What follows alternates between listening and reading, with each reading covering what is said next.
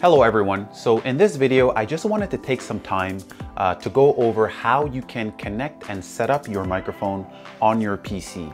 So whether or not you are using a simple USB plug and play microphone or an XLR based microphone like this that uses an XLR wire, and in some cases, you might be using an XLR wire that goes into the 3.5 millimeter jack and then is converted using a USB converter such as this one here. Whatever the case may be, uh, the methods that I'm going to go over now will help you and assist you in setting up your microphone on your PC so that it sounds good. Now I know that a lot of you were also complaining about having um, some audio issues, so uh, either the computer wasn't picking up enough sound, uh, we're gonna go over how you can uh, adjust that within your PC. So stay tuned for that.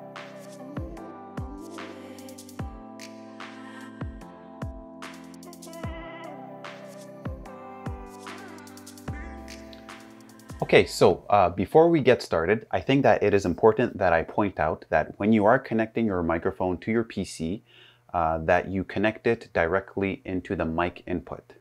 Now, sometimes the easy way is just to take your microphone and plug it into the front interface that is on your computer. Uh, sometimes this might present an issue and you might not be able to have sound coming to your microphone because it doesn't have enough phantom power. So just to rule out this issue, it's always better to plug it into the mic input that is uh, in the back of your computer and that connects to the motherboard.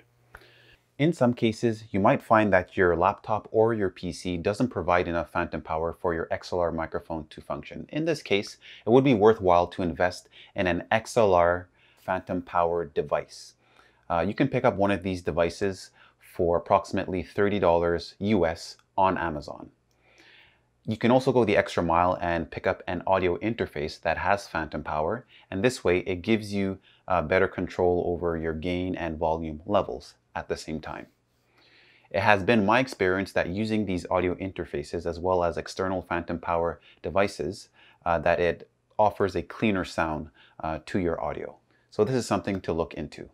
And right now, I'm just going to connect my XLR microphone directly into my PC using the 3.5 millimeter jack, and I'm going to show you exactly what happens when I do this.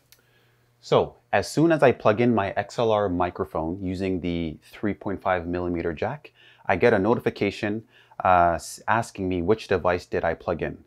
Now I'm going to just select OK that this is the mic in. Okay, so I have the XLR microphone right here, okay, this is the Zingyou ZY007. And in order to check whether or not this microphone is functioning, simply go to the start menu here and then type in sound settings, click on sound settings here, and then right away when I plugged it in, it recognized the microphone and it was picking up sound. And it is picking up sound, okay? So we can tell that this microphone is in fact working. And if by chance you have other microphones that are connected to your computer, you can always uh, select the input that you would like to use. Now, if in a particular case where you're using it and you're not able to monitor any sound being registered by the computer, then what you can do is simply go to the control panel here.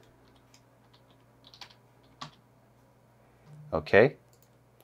And then underneath hardware and sound, um, and then underneath sound, click on manage audio devices.